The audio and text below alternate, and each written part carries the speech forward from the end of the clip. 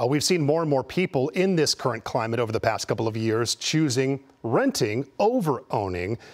What do you think? Is that trend going to continue?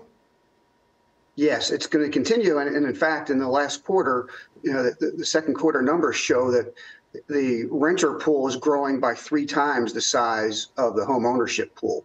So it is uh, absolutely going to continue. Uh, you have the affordability gap is at the highest it's ever been. So it's now over $1,200 more per month to own your home versus renting a, a home.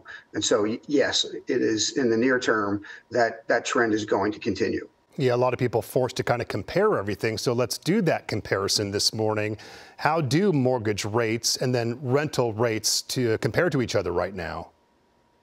So in, in the past year, home prices have risen by 5%. Rental prices have, have increased by 1%. And so that, that's obviously a, a difference there. Uh, when you look at, at home prices pre-COVID are up uh, almost 50%. Rental prices are up 26%.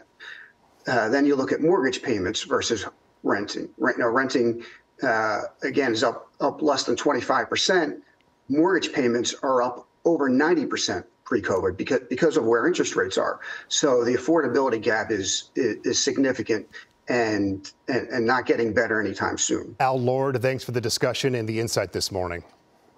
Thanks. Great to be with you, Mark.